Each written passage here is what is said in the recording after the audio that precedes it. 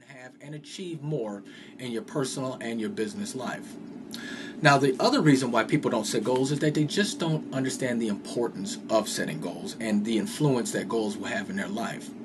I always like to use the example as this. Have you ever bought a car before and whatever that model was, and then all of a sudden, after you bought that car, you all of a sudden start seeing it everywhere? You know, you start noticing it everywhere. Or if you've ever, this is mainly for the ladies, if you've ever purchased an outfit, maybe sometimes right after you purchase the outfit, now you start seeing people wearing the very same outfit that you purchased. Well, keep in mind, it's not the simple, it's not a fact of whether the, the automobile company just started making that car right after you bought it because I'm quite certain they've been making it for years.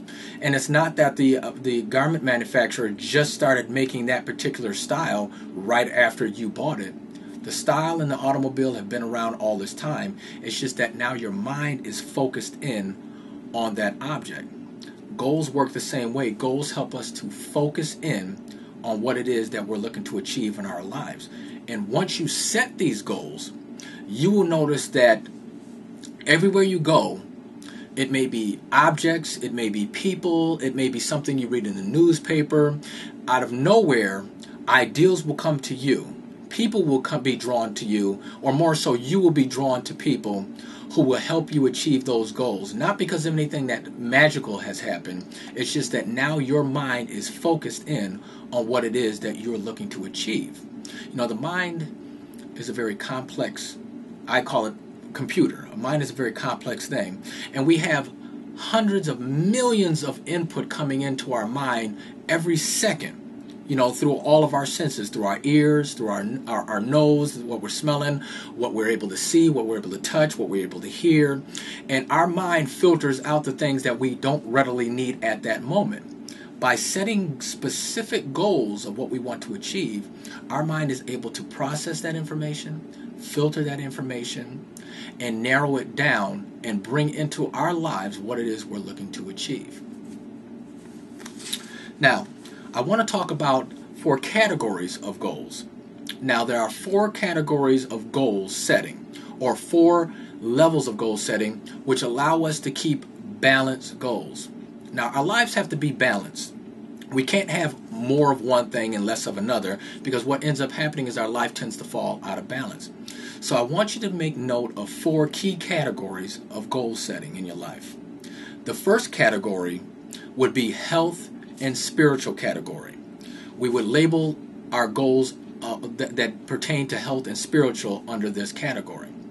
The second key category of balance and goal setting would be financial and career. And under this, we would put different goals such as um, where we want to be on our job, uh, what what type of income we want to earn, uh, what type of investments we want to make. We would put these under that category. The next category would be uh, family and relationships, and these would be the goals that pertain particularly to what type of family life do we want to have? What type of relationship do we want to have with our kids? Do we want to get married? What type of relationships do we want to encounter? And the last category would be benevolent and personal development goals. Um, do you want to learn how to play the piano? Do you want to finish college out? Do you want to take uh, particular classes? Uh, do you want to give a, a, a, certain amount of money to the needy? Do you want to start a charity? We would put goals of that nature under this category. Now, why is it so important to balance these goals out in such a way? Well, for instance, if we set a goal that we want to achieve financial wealth, and that's the only thing that we're striving for, but we don't have any physical go- health goals or spiritual goals, then yes, we've achieved great success in the financial realm. But also, what good does it do us is if we have all of this money in the bank, but we're not around to even be able to enjoy it because we've set no health goals or no spiritual goals. So it's very important to have balance in your goals. Another key important uh, thing to note about setting goals and keeping things balanced is you want to make sure that your goals don't contradict each other.